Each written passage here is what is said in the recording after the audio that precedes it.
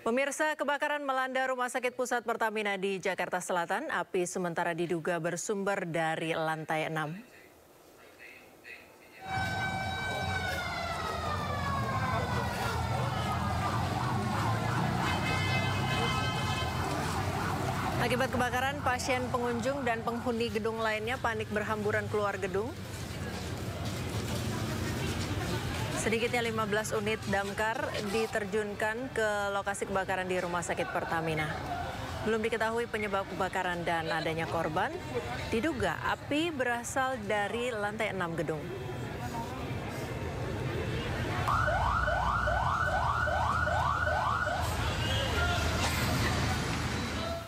Untuk mengetahui suasana terkini kebakaran di Rumah Sakit Pusat Pertamina Jakarta Selatan, kita telah terhubung dengan rekan Salam Rahmat.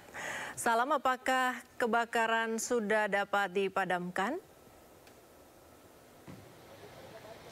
Ya, Rizka untuk api sendiri ini sudah berhasil dipadamkan. Usai tadi dari pihak pemadam kebakaran uh, sudah berjibaku selama kurang lebih satu jam untuk bisa memadamkan api. Sebanyak 134 uh, eh, pasien yang sebelumnya sempat dievakuasi ke tempat yang jauh lebih aman saat ini sudah berhasil dimasukkan uh, kembali ke dalam ruangannya untuk mendapatkan perawatannya uh, secara intensif.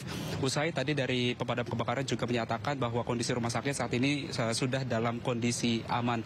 Dugaan sementara api memang berasal dari korsleting listrik yang terjadi pada bagian lantai 4 gedung F di tempat kami melaporkan saat ini di mana memang pada bagian uh, gedung di lantai 4 ini memang saat uh, tengah dilakukan uh, proyek renovasi begitu untuk dalam masa tahap pembangunan.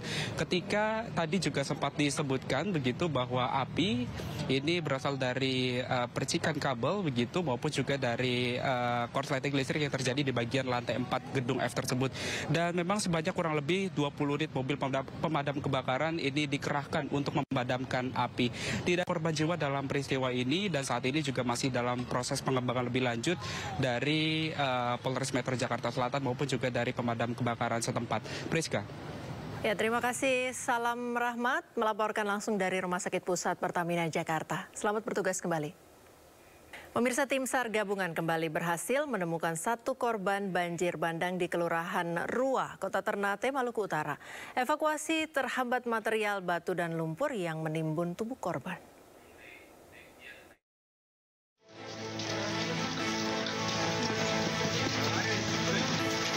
Memasuki hari kedua pencarian, satu jasad korban bencana banjir bandang di Kelurahan Rua, Kota Ternate, Maluku Utara berhasil ditemukan. Tim SAR gabungan lakukan pencarian enam korban dengan penggalian di sejumlah titik. Namun proses evakuasi satu korban terkendala material batu dan lumpur yang menimbun tubuh korban.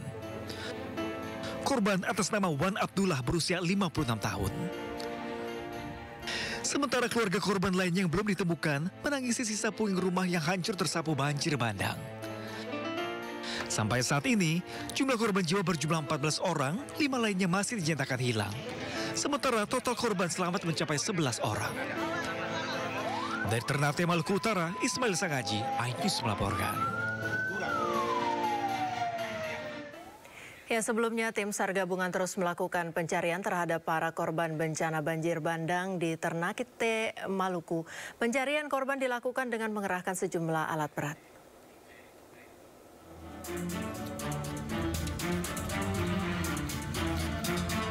Proses pencarian korban banjir bandang di Kelurahan Rua Kota Ternate, Maluku Utara yang dilakukan tim SAR gabungan hingga minggu malam berhasil menemukan tiga korban. Para korban ditemukan tertimbun material lumpur. Satu korban ditemukan pada minggu siang, sementara dua korban lainnya yang merupakan pasangan suami istri ditemukan minggu malam pada pukul 18.30 waktu Indonesia Timur dan pukul 19.21 waktu Indonesia Timur. Proses pencarian korban untuk sementara dihentikan dan akan dilanjutkan kembali pada Senin pagi pukul 7 waktu Indonesia Timur.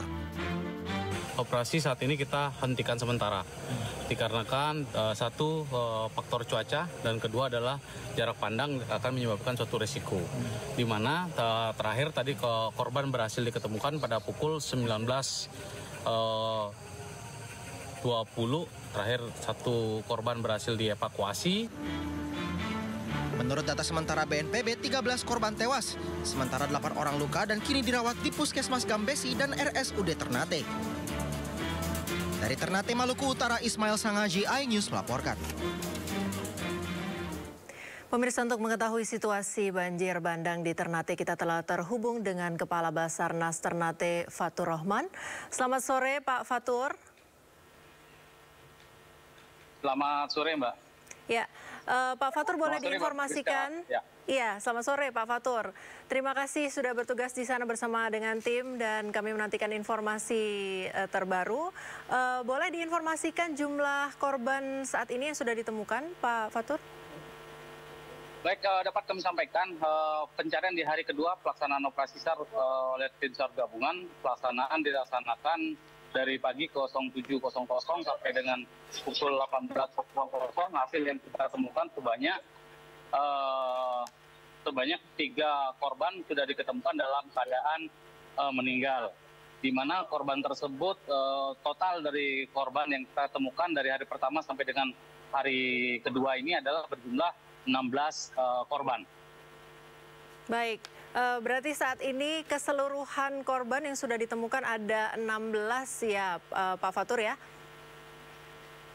Ya betul 16 korban. Baik, apakah bisa diinformasikan sekarang pencarian uh, menyasar ke wilayah mana, bagaimana prosesnya dan mencari berapa korban hilang lagi Pak Fatur? Baik, uh, untuk pencarian kita uh, dalam pelaksanaan uh, pola pencarian yang kita laksanakan, kita sudah membagi beberapa sektor pencarian. Ada uh, dalam sektor pencarian tersebut kita membuat uh, dua rancangan sektor pencarian dalam pelaksanaan operasi SAR berdasarkan laporan dari uh, keluarganya yang merasa kehilangan. Dari sektor tersebut di sektor satu dan sektor dua. Dari sektor satu itu kita bagi tiga, tiga yaitu sektor sektor satu A, satu B dan satu C. Dari sektor satu A kita uh, tadi pagi kita berhasil menemukan dua korban, di sektor satu B kita berhasil menemukan satu korban. Kemudian di sektor uh, uh, C, nah ini kan kita fokuskan di sektor C berdasarkan laporan dan se sek sektor satu C dan sektor 2. Itu yang akan kita laksanakan besok pagi untuk melaksanakan uh, fokus pencariannya ada di lokasi tersebut. Baik, apakah ada kesulitan dalam proses pencarian atau proses evakuasi, Pak Fatur? Uh, saat ini kesulitan yang kita hadapi dalam proses evakuasi adalah dengan material yang cukup bes, uh, besar. Nah itu yang menjadi kendala kita pada saat di lapangan. Tetapi tidak itu tidak menyuruhkan kita untuk melaksanakan uh, pencarian yang dilaksanakan oleh tim SAR gabungan dengan menggunakan alat-alat yang ada ekskavator yang uh, kita turunkan. Baik, bagaimana cuaca di sana saat ini, Pak? Apakah uh, aman untuk tim melakukan proses pencarian? Untuk cuaca pada saat proses pencarian di hari kedua, alhamdulillah situasinya aman, uh, sangat mendukung untuk proses pencarian yang dilaksanakan. Baik, untuk wilayah terdampak uh, di lokasi, apakah Bapak bisa memberikan gambaran bagaimana saat ini dan uh, apakah aman untuk warga yang berada di sana? Untuk uh, lokasi sendiri saat ini sudah kita sterilkan pada pukul 18 setelah melaksanakan selesai melaksanakan pencarian di hari kedua. Uh, lokasi tersebut kita sterilkan dari aktivitas kegiatan-kegiatan uh, lainnya untuk uh, mengamankan lokasi tersebut. Di, di sisi lain kita melihat juga cuaca, kita tidak tahu cuaca pada malam hari uh, terjadinya perubahan-perubahan hingga uh, mengurangi suatu resiko. Baik, untuk bantuan sendiri Pak di lokasi, apakah ada koordinasi dengan pihak-pihak tertentu yang akan memberikan bantuan terkait dengan uh, masih adanya proses pencarian dan evakuasi saat ini dilakukan oleh tim Basarnas? Baik, untuk uh, proses dari bantuan, bantuan masih tetap kita laksanakan, termasuk uh, bantuan uh, potensi SAR yang terlibat dalam pencarian maupun bantuan-bantuan uh, yang diberikan oleh masyarakat maupun bantuan yang dari dari pemerintah maupun bantuan dari organisasi-organisasi. Uh, Baik, terima kasih Pak Fatur Rahman, Kepala Basarnas Ternate, sudah bergabung bersama kami di Sindo sore pada sore hari ini. Selamat bertugas kembali Pak. Selamat bertugas bersama tim di sana. Selamat. Semoga sehat selalu dan aman Baik, dalam tugas. Kita ke informasi selanjutnya. Pemirsa PDI Perjuangan mengumumkan enam pasang bakal calon gubernur dan wakil gubernur di Pilkada 2024. Namun PDIP belum mengumumkan jagoannya di pemilihan gubernur Jakarta. PDI Perjuangan menggelar pengumuman gelombang ketiga bakal calon kepala daerah di Pilkada 2024. PDIP mengumumkan enam pasang bakal calon gubernur dan wakil gubernur di Pilkada 2024. Di antaranya Pilgub Sumatera Barat, Jawa Tengah, Banten, Gorontalo, Nusa Tenggara Timur, dan juga Kalimantan Utara. Namun PDIP yang sedianya akan mengumumkan jagoannya di Pilgub Jakarta ternyata batal dilakukan. Sebelumnya ada sejumlah nama yang santer akan diusung PDIP di Pilgub Jakarta. Di antaranya adalah Anies Baswedan, Rano Karno, hingga Basuki Cahaya Purnama. Dinamika politik ini ya, ini buat saya dialektika. Bung Karno mengajarkan pada saya dialektika jadi kita bisa lihat gitu. Terus nanti melihat aksi reaksi begitu kan.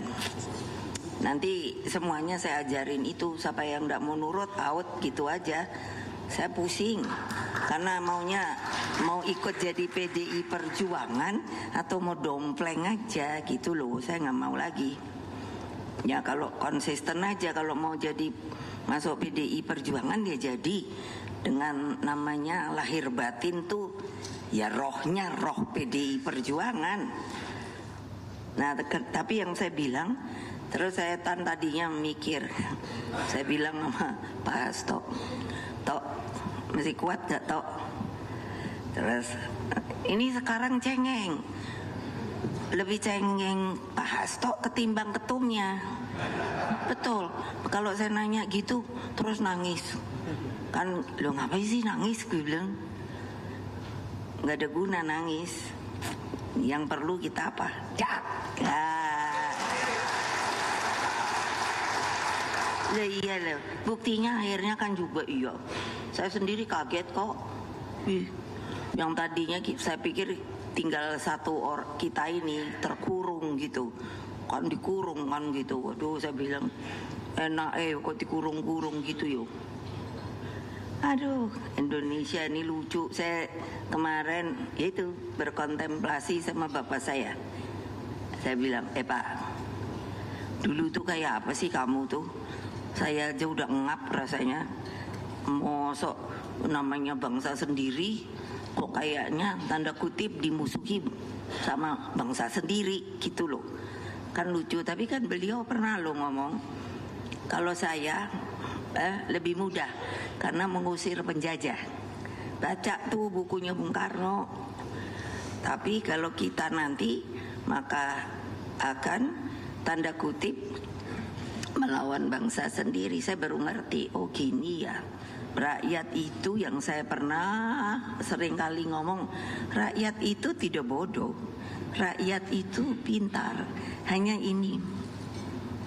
Dulu saya pernah Pak Ahok, ini ada Pak Ahok Sampai tadi aja saya bilang, Ahok, selotip tetap berjalan lo. Habis senengannya nyerocos aja gitu loh.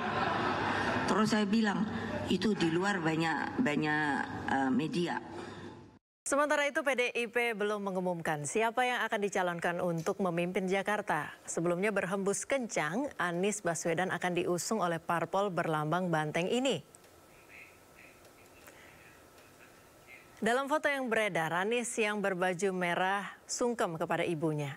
Sang ibu juga turut mendoakan Anies sebelum dirinya berangkat menuju kantor DPP PDI Perjuangan.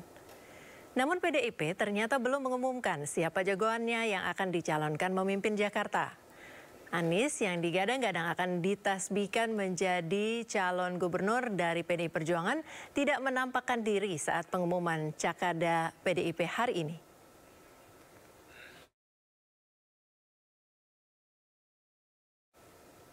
Pertemuan Anies Baswedan dengan PDI Perjuangan memunculkan setitik harapan akan bersatunya Anies dengan PDIP. Namun sejumlah keraguan muncul lantaran adanya pernyataan Megawati sebelumnya yang mempertanyakan loyalitas Anies. Aku bilang enak aja ya, ngapain gue suruh dukung Pak Anies? Dia dia bener nih, kalau mau sama PDI, eh? kalau mau PDI jangan kayak gitu dong ya. Ya tinggal Mau nggak nurut ya? Pernyataan ini disampaikan Ketua Umum PDI Perjuangan Megawati Soekarno Putri sebelum kunjungan Anies ke DPD PDI Perjuangan. Usai pernyataan ini, Anies Baswedan sambangi kantor DPD PDI Perjuangan. Kedatangan Anies Baswedan ke kantor DPD PDIP Jakarta membuka kemungkinan dirinya diusung PDIP di Pilkada Jakarta. Bahas pasti. Ya kita menyamakan kita punya visi dan misi, ya bagaimana kita mengawal, ada persamaan kita punya pandangan bahwa kita harus mengawal konstitusi yang benar, kita harus mengawal demokrasi yang benar. Itu aja. Pak ini kan tadi hangat banget ya Pak salamannya, senyumnya gitu. Apa udah memutuskan bahwa Pak Anies kayaknya cocok nih diusung sama PDI? Insya Allah. Sementara saat ditanyai apakah akan nurut dengan PDIP jika benar akan diusung, Anies menyebut masih menunggu keputusan. Pak Bu Mega kan bilang kalau Pak Anies mau didukung, Pak Anies mau atau enggak nurut sama Bu Mega gitu Pak. Nah Pak Anies melihat itu seperti apa Pak? Ya, jadi kita semua menyadari bahwa beliau merujuk kepada amanat konstitusi, cita-cita bernegara, cita-cita untuk mewujudkan Indonesia yang bersatu, yang beragam tapi bersama, dan itulah yang kemudian kita jadikan rujukan sama-sama. Usai pertemuan, Anies berikan sejumlah sinyal akan bergabung menjadi kader PDI Perjuangan. Melalui akun Instagramnya, Anies menginformasikan dibekali buku-buku yang miliki ideologi sejalan dengan PDIP. Tim Liputan iNews melaporkan. Dalam pengumuman bakal calon kepala daerah hari ini, PDIP resmi mengusung enam bakal calon kepala daerah di Pilkada 2024. Salah satunya adalah Airin Rahmidiani di Pilgub Banten. Airin yang selama ini dikenal sebagai kader Partai Golkar kini diusung oleh PDIP untuk maju di Pilgub Banten 2024. Airin yang hadir di acara pengumuman bakal calon kepala daerah PDIP hari ini pun mengenakan busana bernuansa merah khas partai berlambang banteng. Ketua Umum PDIP Megawati Soekarno Putri menyatakan mendukung penuh Airin dalam Pilgub Banten 2024. Tidak segan-segan Megawati mengajak Airin bergabung dengan PDIP.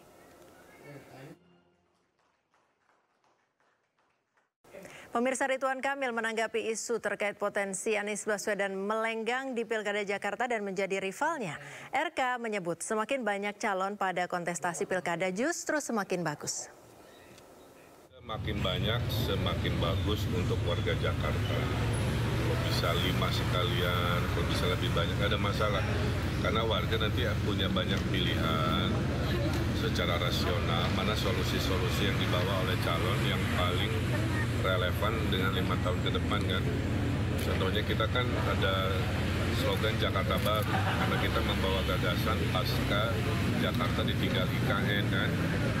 Nah, jadi banyak hal-hal baru yang harus kita sampaikan. Jadi intinya makin banyak semakin bagus. Sebelumnya pemirsa, mantan Gubernur Jawa Barat Ridwan Kamil mendapat dukungan dari partai politik untuk maju dalam Pilkada Jakarta.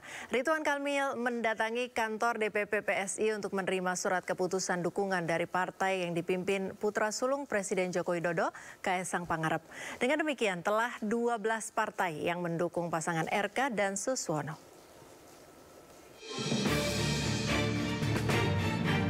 Pasangan Ridwan Kamil Suswono resmi mendapat dukungan dari Partai Solidaritas Indonesia atau PSI. Surat rekomendasi dukungan RK dan Suswon untuk maju dalam kontestasi Pilkada Jakarta diberikan Sekjen PSI Raja Juli Antoni di kantor DPP PSI di Jakarta. RK mengaku senang akhirnya secara resmi PSI memberikan dukungannya setelah sebelumnya PSI telah berulang kali menyampaikan rencana dukungan secara simbolis sekarang bersama Pak Suswono hadir di sini dan kami juga sudah menyimak sepak terjang dan uh, apa mindset uh, semangat dari anggota DPRD dari PSI selama ini ya.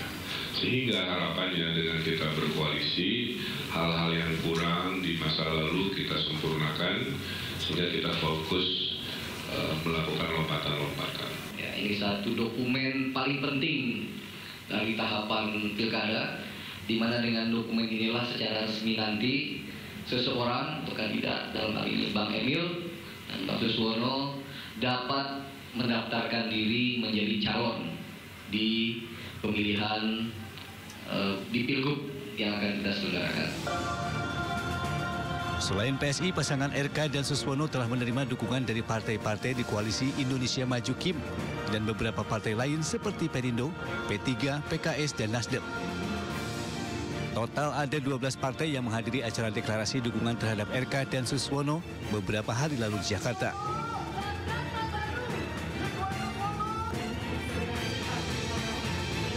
Setelah menerima surat rekomendasi dari PSI, selanjutnya Ridwan Kamil dan Suswono akan mendaftar ke KPU Provinsi Jakarta pada tanggal 28 Agustus sebagai bakal pasangan calon gubernur dan wakil gubernur Jakarta.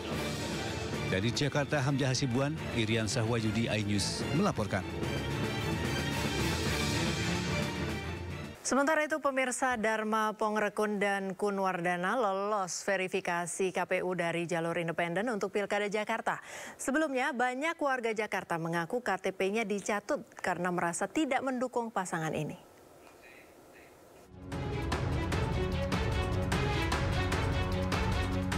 Pasangan Dharma Pongrekun dan Kunwardana dipastikan akan bertarung melawan Ridwan Kamil di Pilgub Jakarta. Keduanya telah memenuhi syarat untuk maju sebagai calon independen. Seluruh berkas dukungan dianggap memenuhi syarat, yaitu sekitar 677 ribu dukungan dari masyarakat. Keduanya akan ditetapkan pada 19 Agustus nanti dan diminta mendaftar pada 25 Agustus 2024 tinggal mendaftar di tanggal 27 sampai 29 nanti satu tahap lagi tanggal 19 kami akan uh, umumkan penetapan pemenuhan syarat dukungan untuk calon perseorangan seperti itu. Majunya pasangan independen ini sempat memunculkan isu pasangan boneka. Tudingan ini langsung dibantah keduanya. Mereka pastikan proses pencalonannya telah melalui prosedur. Kami bukanlah by design, kami bukanlah settingan, tidak. Kalau kami pun tidak pernah tahu apa yang akan terjadi di depan. Jadi dari awal Februari kami mulai bekerja dan mulai Mei kami mendaftarkan diri sampai detik ini kami betul-betul berjalan bersama rakyat dan tidak dan tidak ada siapa pun di belakang kami. Dengan lolosnya kedua calon ini, dipastikan Pilkada Jakarta tidak hanya satu calon, Skenario kota kosong pun kemungkinan besar tidak akan terjadi. Dari Jakarta, Rian Rahman, Jaka Samsa, iNews melaporkan. Pemirsa Komisi 2 DPR RI resmi menyetujui revisi PKPU nomor 8 tahun 2024 tentang pencalonan kepala daerah Pilkada 2024. Keputusan itu dibacakan Ketua Komisi 2 DPR RI Ahmad Doli Kurnia dalam rapat dengar pendapat bersama KPU RI yang membahas perubahan PKPU untuk mengakomodasi putusan MK. Doli kemudian meminta persetujuan seluruh fraksi yang hadir dalam forum dan langsung mengetuk palu sebagai tanda persetujuan. Kita sudah sama-sama tahu bahwa draft PKPU tentang perubahan atas peraturan Komisi Pemilihan Umum nomor 8 tahun 2004 ini sudah mengakomodir ya tidak ada kurang tidak ada lebih dari putusan Mahkamah Konstitusi 60 dan 70. Apakah kita bisa setujui? Kita setujui? Alhamdulillahirobbilalamin. Ke perubahan PKPU setelah putusan Mahkamah Konstitusi nomor 60 dan 70 yang semalam sudah kita bahas karena pertimbangan kebutuhan mendesak dan seterusnya kami menyampaikan kita berdiskusi dengan banyak pihak untuk kemudian mempercepat proses konsultasi dan Alhamdulillah terjadwal pagi ini jam 10 Insya Allah dan semoga lancar semua dan seluruh putusan 60 dan 70 akan dimasukkan dalam perubahan PKPU terkait dengan pencalonan calon kepala daerah. Insya Allah. Artinya hari ini tinggal penetapan aja ya Pak? Insya Allah. Nah, karena kemarin sudah dibahas panjang kali lebar semalam dan kita sudah diskusikan semuanya sambil juga banyak sekali uh, PKPU yang lain yang juga menunggu termasuk berbawaslu. Pak, tahu bisa apa yang sampai membuat penetapannya itu di hari Minggu tidak jadi di hari Senin? Waktu kami kan juga butuh untuk kemudian uh, punya selang waktu yang lebih untuk menyampaikan kejajaran juga dan termasuk dinamika-dinamika yang berlangsung untuk kemudian menurunkan dalam bentuk juknis dan seterusnya ini semakin cepat semakin baik untuk kebutuhan uh, jajaran kami. DPR kembali menggelar rapat untuk membahas lebih lanjut terkait draft PKPU nomor 8 tahun 2024 dan peraturan Badan Pengawas Pemilu sesuai putusan MK nomor 60 dan 70. Agenda pembahasan rapat masing-masing tiga PKPU dan Perbawaslu. Poin yang dibahas dalam PKPU adalah mengenai logistik dana kampanye dan kampanye. Sementara dalam Perbawaslu adalah terkait pengawasan pencalonan dan juga pengawasan kampanye.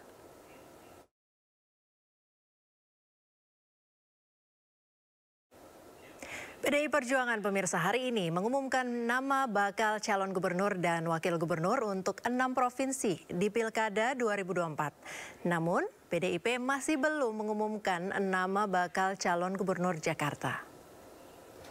Dalam acara ini PDIP hanya mengumumkan nama cakada enam provinsi, yakni Jawa Tengah, Sumatera Barat, Banten, Nusa Tenggara Timur, Gorontalo, dan juga Kalimantan Utara.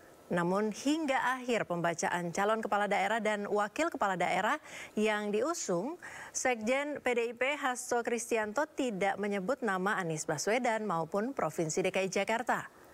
Anies juga tidak terlihat di markas DPP PDIP Jakarta. Selanjutnya dengan seizin Ibu Ketua Umum, kami akan umumkan calon gubernur dan calon wakil gubernur mewakili calon kepala daerah yang saya sebut namanya mohon berdiri. Dari Provinsi Banten, Ibu Airin Rahmi Diani, tepuk tangan yang meriah. Didampingi oleh Ade Sumardi, Ketua DPD PDI Perjuangan Banten. Jadi Banten ini sudah bergelora. Kemarin rakyat sudah mengukuhkan pasangan ini. Meskipun ada hambatan kiri kanan, tetapi harus punya fighting spirit kata Bu Mega. Dari Provinsi Jawa Tengah, Jenderal TNI Purnawirawan Andika Perkasa dan Hendrar Prihadi.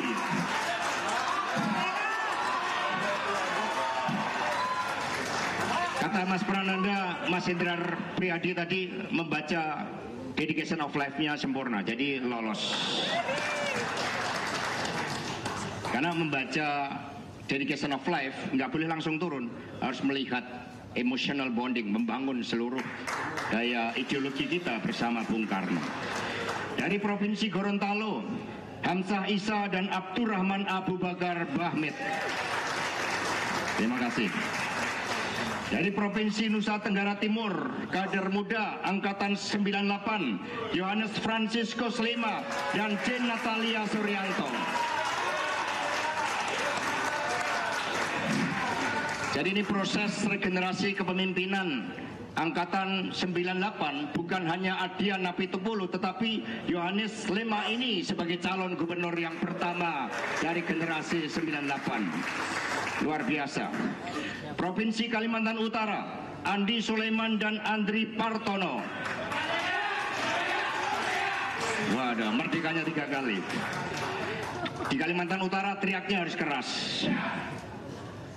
Dari Provinsi Sulawesi Utara, ini Pak Oli Dondo Kambe melaporkan kepada Ibu Ketua Umum bahwa setelah diputuskan Stephen Octavianus Estefanus Kando, maka sebagai calon wakil gubernur adalah Letnan Jenderal TNI Purnawirawan Alfred Denny Jolki Tuji.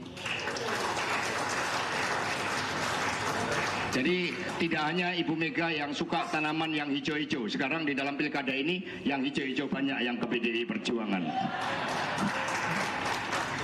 Ini dialektika dalam politik. Komisi Pemilihan Umum DKI Jakarta telah menetapkan jadwal pendaftaran calon gubernur, calon wakil gubernur Jakarta untuk Pilkada 2024. Pendaftaran dibuka selama tiga hari mulai Selasa besok.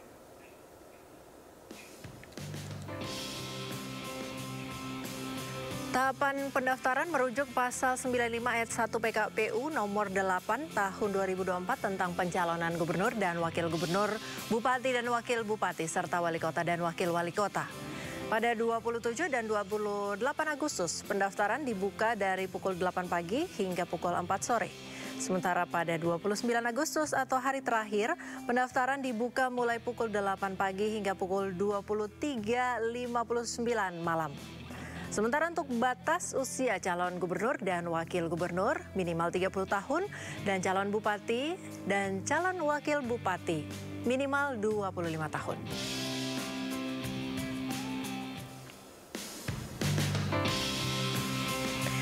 KPU Daerah Khusus Jakarta juga telah mengeluarkan keputusan terkait syarat minimal suara sah parpol atau gabungan parpol untuk mengajukan paslon pada Pilgub dan Pilwagub Jakarta, yaitu paling sedikit 7,5 persen suara sah.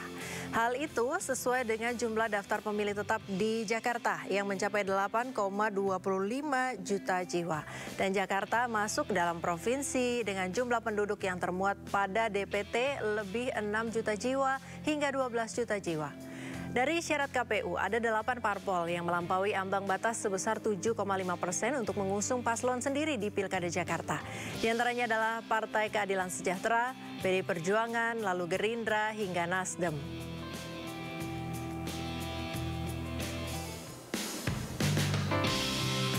Lalu siapa saja yang diperkirakan akan bertarung di pemilihan gubernur Jakarta? Salah satunya ada nama Anies Baswedan yang akan tampil di Pilkada Jakarta. Pasca putusan MK terkait ambang batas syarat pencalonan pilkada.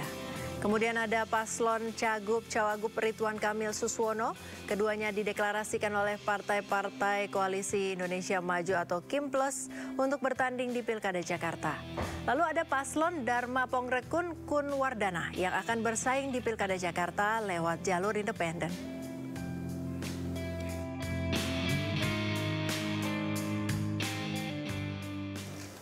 Dinamika politik semakin terlihat menjelang pendaftaran calon gubernur, calon wakil gubernur Jakarta.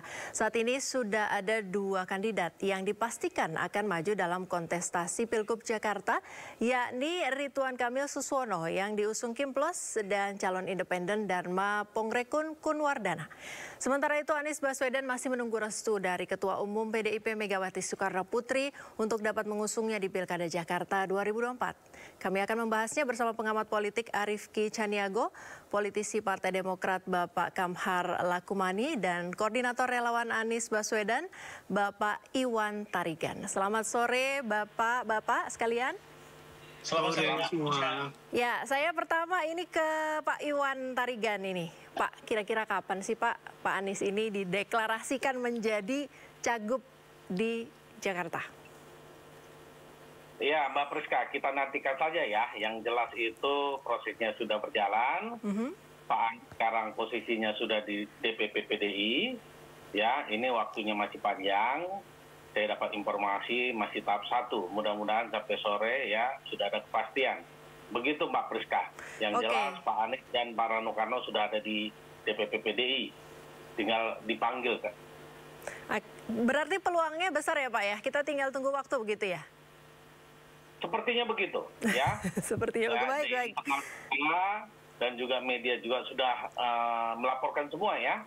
Dari pagi perjalanan Pak Anies seperti biasa Pak Anies itu sudah meminta izin ke ibu ya. Karena Pak Anies itu kan sangat sangat mencintai dan juga sangat menghormati ibu. Jadi setiap keputusan-keputusan yang diambil itu Pak Anies pasti minta doa restu ibu. Dan itu sudah dilakukan. Baik di pilpres setiap uh, inilah setiap Pak Anies mendapatkan amanah ya itu beliau pasti minta restu ibu. Dan itu sudah berjalan. Dan Pak Anies juga sudah sampai di DPP ya dan uh, sekarang juga Pak Anies sudah bersama uh, Mas Rano Karno ya mm-hmm. Bang Dul ya idola kita dari kecil jadi kita tunggu saja apakah hari ini atau besok ya yang jelas Pak Anies sudah ada di DPP. Begitu Mbak Priska. Oke, berarti ini positif duetnya uh, Anies Rano Karno ya Pak ya? Kita tunggu aja dari Ibu ya, karena uh, kebutuhan Ibu itu uh, ketua umum itu uh, nanti setelah disebutkan ya. Jadi kita belajar dari sebelum-sebelumnya ya, hmm. pernah juga dulu Mahfud MD ya, masih ingat nggak itu Jokowi Mahfud MD sudah pakai jas, sudah ini ya. Jadi kalau belum di, diumumkan itu uh, kita belum bisa memastikan. Jadi kita tunggu saja. Mudah-mudahan hari ini ya sudah diumumkan supaya pada tanggal 27 kita sudah bisa datang ke KPU uh, eh, semuanya. Begitu Mbak Priska. Baik, Pak Iwan tapi kalau misalnya jadi nih diusung oleh PDIP, berarti Pak Anies apakah akan jadi kadernya PDIP atau bagaimana? Kita lihat nanti, karena memang kalau saya tadi ikutin juga pidato uh, ini, pidato Bu Mega, beberapa juga kan yang diusung oleh PDIP seperti Ibu Airin, itu kan belum ya karena beliau itu adalah ketua DPC uh, eh, Golkar Tangerang Selatan ya.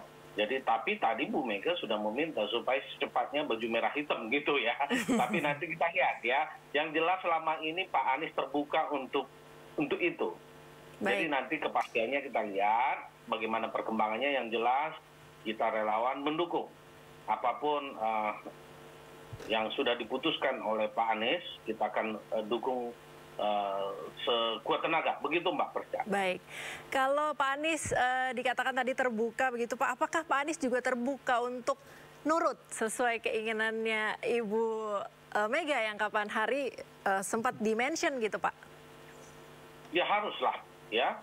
Kan harus nurut ya, namanya pemimpin itu kan harus menurut untuk konstitusi seperti uh, kata Pak Anies ya jadi konstitusi sudah dibuat, itu harus nurut gitu. Jangan nanti malah minta tiga periode, ya kan?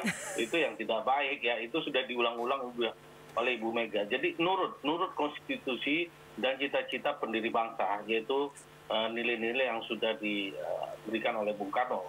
Kemarin Pak Anies begitu pulang dari DPP PDIP itu ada sekitar 10 diberikan pemikiran-pemikiran Bung Karno maupun Ibu Megawati.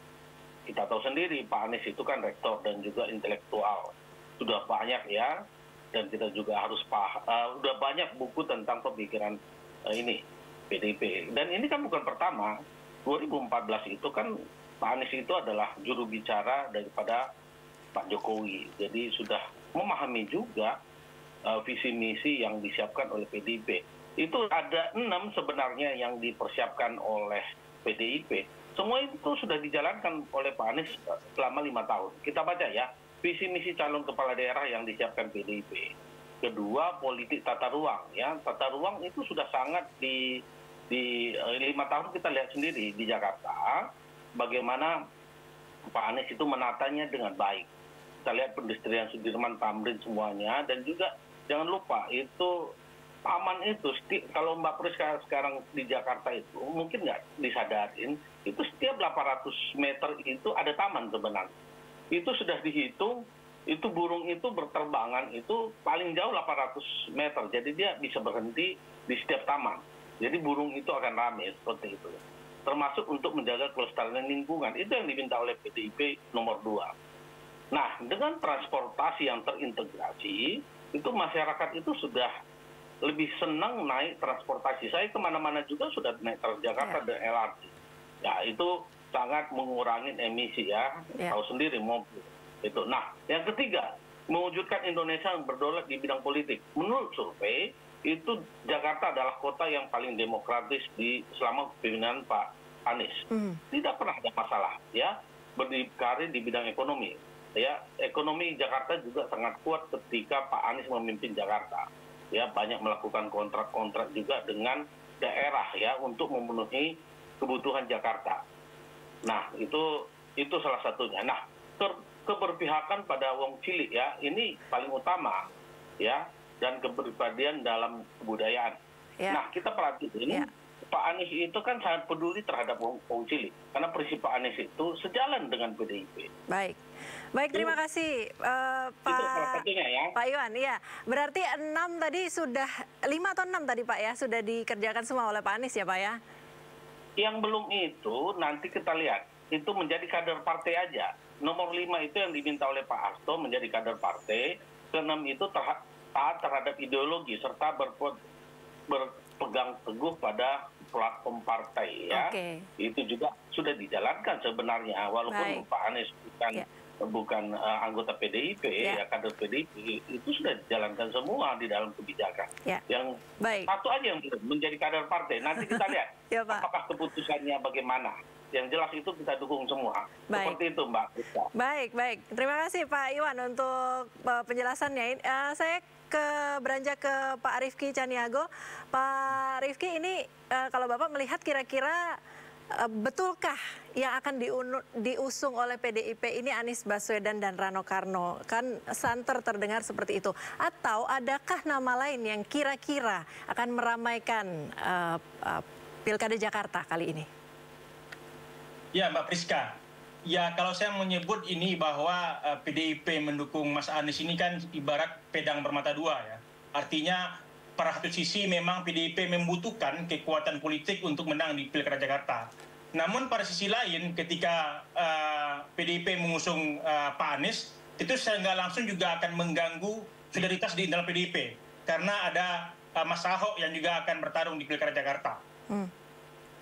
Baik. Karena ketika misalnya PDIP mendukung Mas Anies, secara nggak langsung tentu Ahoker akan apakah akan mendukung Mas Anies atau tidak. Terus yang kedua, ketika misalnya PDIP mendukung Mas Anies, secara nggak langsung juga akan merugikan bagi Mas Ganjar Pranowo. Karena ini kartu mati untuk Mas Ganjar untuk Pilpres 2009. Dan saya rasa ini yang menjadi kebimbangan bagi eh, PDIP. Yang yang pada sisi lain juga PDIP mengharapkan pada posisi politik yang seperti dikatakan Pak Iwan tadi, bahwa Mas Anies belum bergabung dengan partai politik. Makanya pilihan atau garansi terakhirnya untuk mengusung Anies, mungkin Anies akan bergabung di, dengan PDIP agar tidak akan ada potensi Anies akan berpindah politik atau tidak bisa dikendalikan dalam konteks politik di Pilkada maupun di Pilpres 2009.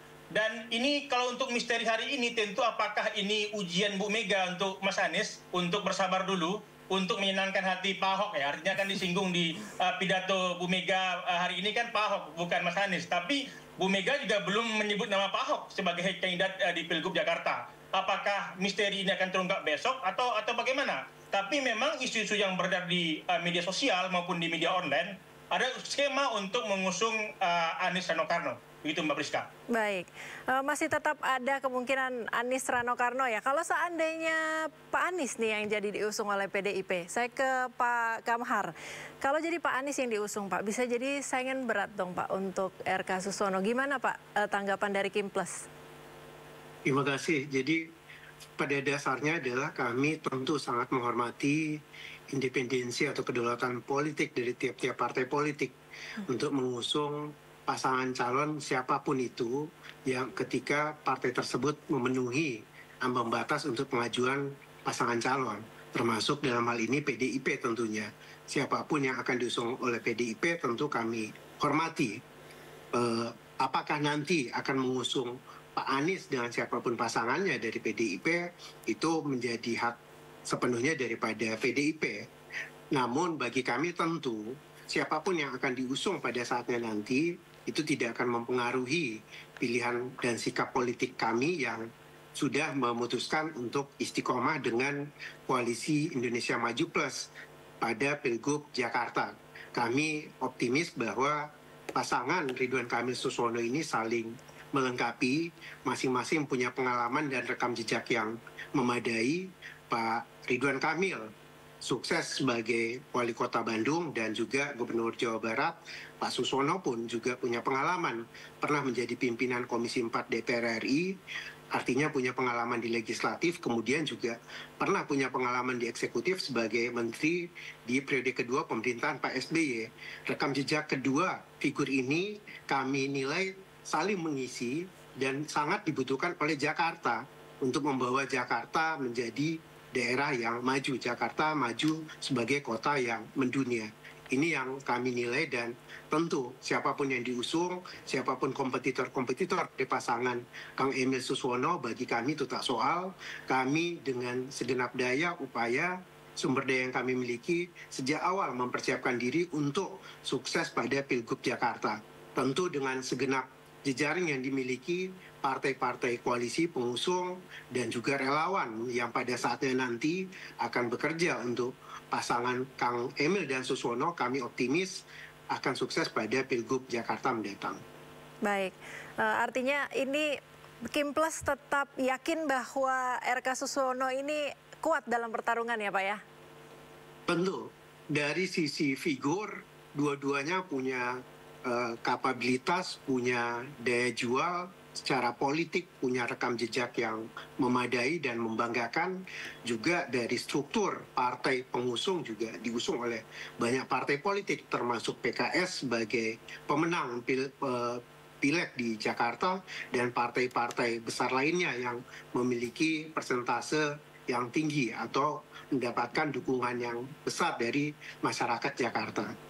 Oleh karena itu kami optimis pasangan ini bisa membawa kemenangan pada pilgub mendatang dan masing-masing juga punya konsep, punya visi misi yang memadai untuk membawa Jakarta menjadi Jakarta maju.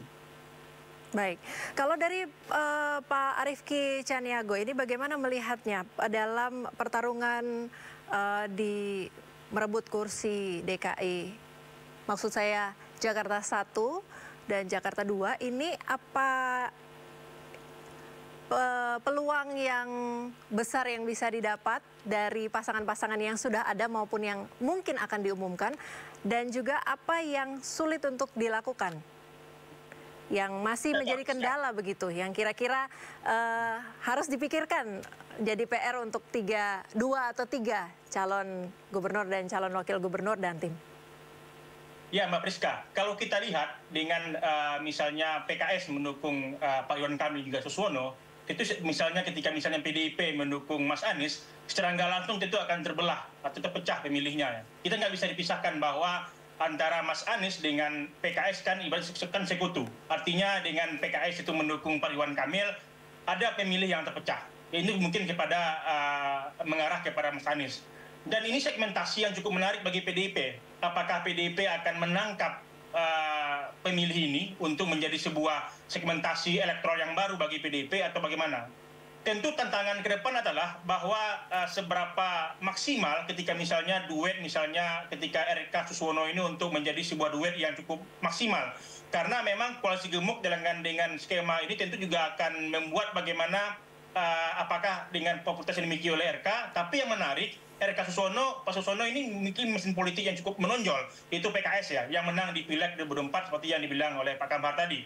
Dan uh, sisi lain adalah kita juga nggak bisa meremehkan PDIP. PDIP juga punya mesin politik yang luar biasa di uh, Jakarta. Tetapi hal yang paling menarik itu adalah bahwa ada kesamaan visi, mungkin kesamaan uh, apakah persepsi yang dimiliki oleh PDIP di luar kekuasaan hari ini dengan Mas Anies mungkin ini menjadi kekuatan baru bagi uh, Mas Anies maupun PDIP untuk membuat circle baru untuk bisa memenangkan pilkada Jakarta. Dan tantangan ke depan adalah bagaimana uh, eh, PDIP mengkomunikasikan misalnya mendukung Mas Anies untuk berdialog dengan Ahok dan juga Ganjar Pranowo yang secara basis, basis masa politik berbeda di Pilpres 2024 dan juga Pilkada Jakarta yang cukup uh, tajam. Dan saya rasa ini juga akan ditantangan bagi Mas Anies maupun PDIP untuk membangun sebuah visi bersama dengan uh, internal PDIP maupun tim-tim yang ada di uh, internal Mas Anies yang dikenal dengan pendukung Abah ini. Artinya tentu ada pilihan berbeda antara pendukung Abah dengan PDIP. Tapi hari ini mereka harus bersatu untuk punya visi bersama di Pilkada Jakarta. Tapi yang namanya politik kan mungkin-mungkin saja ya. Artinya tidak bisa bahwa PDIP, pemilih PDIP akan bersatu dengan pemilihnya Anies. Tapi pemilih PKS bersatu dengan pemilihnya uh, Periwan Kamil. Ini kan mungkin-mungkin saja. Tapi ini yang yang kita tantangan ke depan bagi kedua pasang calon. Kalau kita melihat meskipun ada tiga pasang calon yang akan menonjol, tapi dalam perbincangan ke depan bahwa calon yang paling menonjol itu adalah dua pasang. Itu uh, Pak RK dan juga Pak Suswono, Pak Anies dan juga Rano Karno kalau jadi. Ini juga segmentasi yang perlu juga dijelaskan oleh uh, Mas Anies ke publik para pendukungnya di Pilpres 2024. Kenapa dia memilih PDIP?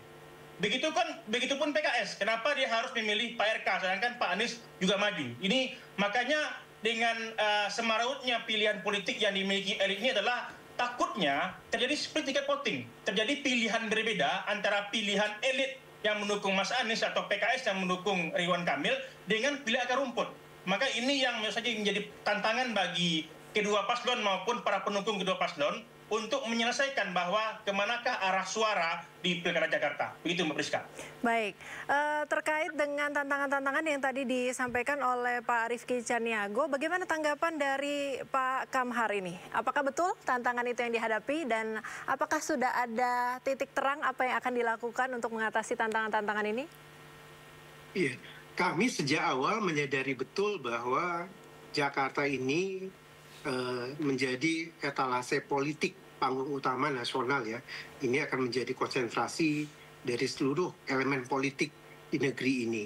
Dan kita alhamdulillah dengan adanya banyak kontestan itu kan menjawab bahwa eh, Pilgub Jakarta benar-benar sebagaimana yang diharapkan betul-betul semua eh, figur-figur utama politik akan menjadi kontestan pada eh, pilkada nanti.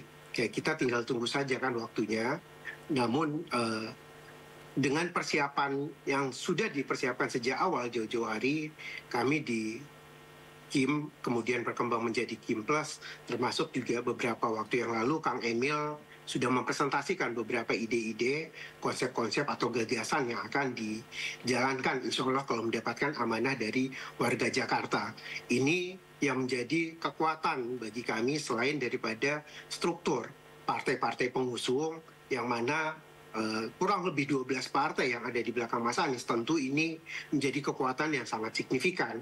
Termasuk juga mohon maaf 12 partai di belakang uh, Kang Emil uh, Ridwan Kamil Pak Ridwan Kamil dan Suswono atau pasangan uh, Kim Plus koalisi Kim Plus ini tentu menjadi kekuatan yang sangat signifikan. Oleh karena itu uh, kami tentu tidak ingin uh, terlena dengan kekuatan tadi karena kami juga menyadari bahwa Eh, kompetitor yang ada siapa pun nanti yang akan berlaga. Berapa pasang pun itu dua tiga atau empat pasang misalnya uh, ini kami sangat mempersiapkan diri dengan hati-hati dengan segenap daya upaya untuk memenangkan kontestasi ini. Semuanya sudah dipersiapkan dan termasuk untuk pembentukan relawan dan sebagainya itu sedang berjalan segala sesuatunya. Ini dikerjakan dengan sungguh-sungguh oleh Kim Plus karena kita tidak ingin uh, apa uh, tidak sukses pada Pilgub Jakarta ini. Baik, terima kasih Pak Kamhar. Pak, sekarang saya ke Pak Iwan. Pak Iwan, kalau Kim Plus ini sudah sangat positif gitu ya, uh, bagaimana dengan tim dari Anies Baswedan sendiri? Sebagai petahana ini kan uh, ada strategi-strategi pastinya ya kalau akan maju lagi begitu. Apakah itu kira-kira akan cukup kuat untuk bertarung kalau memang seandainya jadi nih di ketok palu? Ya, uh, kita sangat kuat ya Mbak ya, Mbak Priska. Ini pengalaman aja. Uh, karena kita, Pak Anies ini kan ke dari pilpres ke pilkada ini kan hampir tidak ada jeda waktu. Kekuatan dan timnya itu belum ada yang berubah. Jadi mesinnya itu tinggal gas. Ya jadi kebetulan saya koordinator relawan 1015 seluruh Indonesia ya 1015 tapi di Jakarta itu ada sekitar 250 organisasi relawan itu masih utuh ya dan uh, seribu uh, organisasi organisasi relawan seluruh Indonesia itu pun sudah menyampaikan ke saya begitu Pak Anies ditetapkan di DKI mereka juga akan datang ke Jakarta. Jadi kekuatan kita itu saya rasa RK belum ya. Susah itu, susah. 250 organisasi organisasi relawan saja itu tidak mudah uh, ini membentuknya itu. Mungkin 10 20 aja dalam waktu tiga bulan itu sulit ya. Ini kan kita kemarin dua tahun ya, udah mempersiapkannya itu dua tahun. Itu sangat besar, mesin kita sudah berjalan semua dan kita juga udah bergerak ya kalau mbak bisa lihat itu pergerakan itu relawan itu dua bulan tiga bulan ini juga bergerak ya jadi kita sangat percaya diri Baik. yang penting itu, itu Pak Anies dipastikan langsung ngebut. Begitu, Baik. Mbak Priska. Terima kasih Pak Iwan, Eh, terima kasih juga Pak Kamhar, terima kasih Pak Rifki Caniago sudah bergabung bersama kami di Sindo Sore. Kita nantikan bersama, kami masih menantikan ini siapa ya yang akan ada untuk Jakarta nanti di Pilkada Jakarta 2024. Terima kasih Bapak-Bapak sekalian, selamat sore. Terima kasih, selamat sore semua. Pemerintah Kabupaten Bogor kembali membongkar bangunan liar di kawasan Puncak Bogor. Pembongkaran diwarnai teriakan pedagang yang tidak terima kiosnya dibongkar. Sementara itu di Kabupaten Bekasi, Jawa Barat, pertandingan final sepak bola antar kampung berakhir ricuh.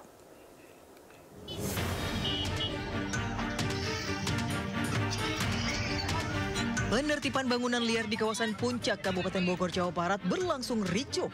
Sejumlah pedagang kaki lima berusaha mempertahankan lapak yang hendak diamankan petugas. Sementara itu sejumlah alat berat dikerahkan untuk membongkar bangunan. Penertiban ini dalam rangka penataan area puncak tahap kedua di jalur utama. Sebelumnya, pemerintah kota Bogor sudah memberikan tiga kali surat peringatan dan penyegelan. Sebanyak 800 personil dikerahkan dalam penertiban ini. Selama penertiban, petugas mengimbau pengguna jalan menuju Cianjur agar menggunakan jalur alternatif. Dari Bogor, Jawa Barat, Wildan Hidayat Ainus melaporkan. Korban, ban- korban jiwa akibat banjir bandang yang menerjang Ternate Maluku Utara bertambah menjadi 16 orang. Tim SAR gabungan masih berada di lokasi untuk mencari kemungkinan korban yang tertimbun material banjir.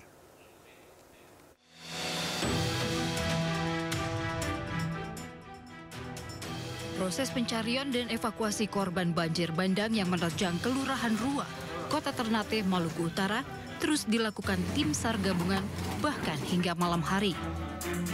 Para korban ditemukan tertimbun material lumpur. Satu korban ditemukan pada minggu siang, sementara dua korban lainnya yang merupakan pasangan suami istri ditemukan minggu malam. Menurut data sementara BNPB, 13 korban tewas. Sementara 8 orang luka dan dirawat di Puskesmas Gambesi dan RSUD Ternate. Jumlah korban meninggal masih belum pasti seiring proses pencarian korban yang terus berlanjut. BPBD Kota Ternate juga telah mendirikan sejumlah posko di sekitar lokasi bencana. Jelas proses evakuasi penanganan pengungsi, logistik jalan. Posko untuk eh, evakuasi ini sudah untuk pengungsinya di SMK 4. SMK 4. Banjir bandang tak hanya menelan korban jiwa, tapi juga merusak bangunan. Rumah warga dan kendaraan mereka terendam lumpur tanah setinggi 2 meter. Bahkan sebanyak 30 rumah dilaporkan hancur tersapu banjir. Sementara sejumlah warga melaporkan kehilangan sanak saudara mereka. Yang yang dampak ini hampir sekitar 30 rumah karena ini sampai di sini juga nih. Di, saya di kaki rumah ini ke samping ini di belakang ini ini belakang rumah ini banyak nih. Rumah ini kadang banyak semua nih. Sampai di musala satu tuh. Tim SAR gabungan masih mencari para korban yang diduga tertimbun material banjir dan lumpur. Dari Ternate, Maluku Utara, Ismail Sangaji, iNews melaporkan. Suami aktris Sandra Dewi Harvey Muiz kembali menjalani sidang perkara dugaan korupsi tata niaga komoditas timah di Pengadilan Tindak Pidana Korupsi Jakarta. Bertempat di ruang sidang utama Pengadilan Tipikor Jakarta, Harvey Muiz kembali menjalani sidang lanjutan kasus dugaan pengelolaan tata niaga komoditas timah di wilayah izin usaha pertambangan IUP PT Timah TBK periode 2015-2022. Sidang dilanjutkan dengan agenda pembuktian melalui keterangan saksi yang dihadirkan jaksa penuntut umum. Sebanyak lima saksi dihadirkan dalam sidang hari ini, mayoritas karyawan PT Timah TBK dan satu lainnya merupakan petani. Kelima saksi yang dihadirkan antara lain Ali Samsuri, karyawan BUMN PT Timah, Tegus Awal Prasetyo, mantan Kepala Bagian Pengangkutan PT Timah Daerah Babel, Nono Budi Priyono, mantan Kepala Bagian Perencanaan dan Pengelolaan PT Timah Daerah Babel, Abdullah Umar Baswedan, karyawan PT Timah Jakarta, dan Edi Suryadi, petani. Presiden Republik Indonesia Joko Widodo meresmikan bendungan Marga 3 di Kabupaten Lampung Timur, Provinsi Lampung. Presiden Joko Widodo bersama Menteri PUPR Basuki Hadi Mulyono dan Menteri Perdagangan Zulkifli Hasan didampingi PJ Gubernur Lampung Samsudin dan unsur Forkopimda meresmikan bendungan Marga 3 di Kabupaten Lampung Timur. Bendungan Marga 3 mulai dibangun pada 2017 lalu. Bendungan akan difungsikan untuk penyediaan sumber daya air bagi masyarakat serta daerah irigasi. Bendungan Marga 3 memiliki kapasitas tampung 42,31 juta meter kubik dengan luas genangan lebih dari 2.200 hektar. Selain Bendungan Marga 3, Presiden juga meresmikan beberapa proyek infrastruktur lain seperti Pasar Pasir Gintung di Bandar Lampung dan proyek sistem penyediaan air minum Bandar Lampung. berkenan Presiden Republik Indonesia melakukan penekanan tombol sirine dan penandatanganan. Kepala Protokol Negara Andi Rahmianto mengumumkan bahwa pemimpin Gereja Katolik Dunia Paus Franciscus diundang untuk hadir dalam upacara resmi yang dipimpin oleh Presiden Joko Widodo di Istana Merdeka. Kunjungan akan dilaksanakan pada 3 hingga 6 September mendatang. media. Jadi seperti tadi sudah disampaikan, kita akan menerima kedatangan atau kunjungan kenegaraan ya, yang mulia Paus Franciscus. Beliau tentunya akan kita perlakukan sebagai tamu negara sekaligus juga sebagai eh, pemimpin umat ya khususnya umat Katolik. Jadi sesuai dengan eh, acara program yang sudah kita bahas eh, dengan pihak eh, Vatikan, rencana Paus akan tiba di Jakarta pada tanggal 3 eh, September eh, 2024 yang akan datang. Kemudian pada tanggal 4 ya September akan eh, diadakan ya sebagai tamu negara tentunya akan diadakan eh, acara upacara resmi kenegaraan akan diterima oleh eh, Bapak Presiden ya di Istana Merdeka dan juga akan ada kegiatan di Istana Negara pada tanggal 4 September. Kemudian eh, tanggal 5 ya, eh, Paus sebagai eh, tamu negara selain nanti akan ada misa akbar yang akan diselenggarakan puncaknya ini acara puncaknya misa akbar di eh, Gelora Bung Karno, kompleks Gelora Bung Karno eh, baik di Stadion Madia maupun di Stadion Utama GBK. Eh, ada beberapa kegiatan lain yang eh, akan melibatkan eh, Paus Franciscus ya. Akan ada acara di Masjid Istiqlal ya dengan eh, imam besar eh, Masjid Istiqlal. Akan juga ada acara di eh, gedung eh, katedral ya eh, Pemirsa Goa Londa di Toraja Utara, Sulawesi Selatan menawarkan sensasi berbeda untuk dikunjungi. Para pengunjung bisa melihat kuburan gantung di tebing dan tak hanya itu pengunjung juga bisa menyusuri goa dengan hanya bermodalkan lampu senter untuk menemukan sejumlah makam di dalam batu.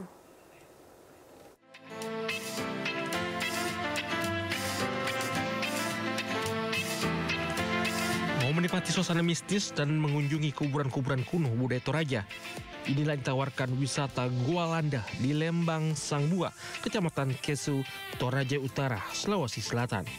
Setelah menaiki ribuan anak tangga, pengunjung sudah ditunggu sebuah mulut gua menganga. Dengan hanya dibekali lampu petromak, pengunjung diajak menelusuri relung-relung sempit di dalam gua. Gua Londa juga dijadikan tempat pemakaman di mana di dalam gua masih tersimpan peti jenazah dan tulang belulang. Selain itu pengunjung juga bisa melihat kuburan di atas tebing yang sangat terkenal di Toraja.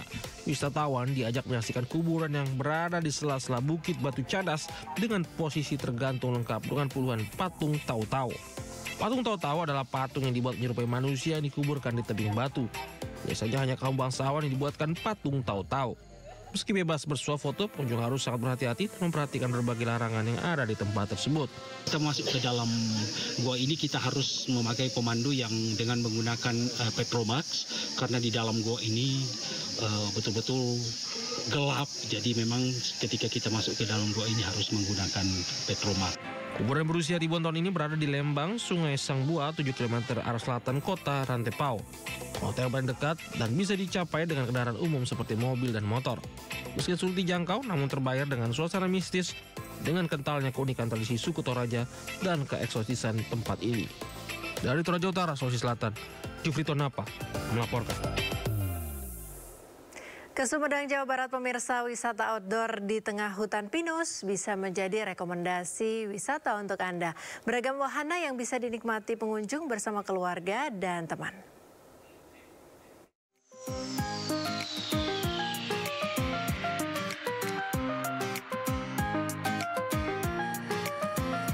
Wahana wisata Kampung Ciherang yang terletak di kawasan hutan pinus dekat aliran sungai Ciherang di wilayah desa Cijambu, Kecamatan Tanjung Sari, Sumedang, Jawa Barat.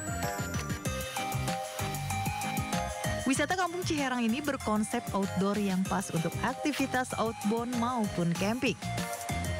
Pengunjung bisa menikmati wahana permainan seru seperti flying fox, sepeda gantung, panahan, kolam renang, dan beragam permainan anak.